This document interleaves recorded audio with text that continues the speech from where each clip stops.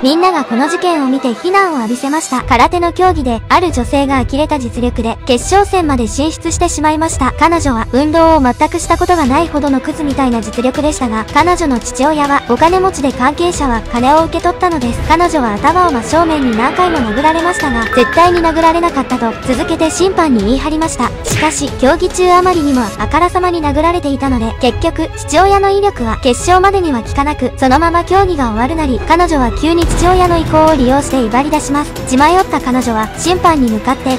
突き出して怒り狂った像のように周りを壊し始めました。この姿に見るに耐えなかった他の選手が急いできて彼女を殴ろうとステップを踏んだが、スタッフたちが急いで駆け寄ってきて食い止める中で彼女のコーチは競技場でただ見ているだけでした。しかし、彼女の影響力はすごく、彼女の味方の関係者も問いただしていたのでした。結局、この映像は世界中に広がり、彼女を二度と試合で見ることはできなかったそうです。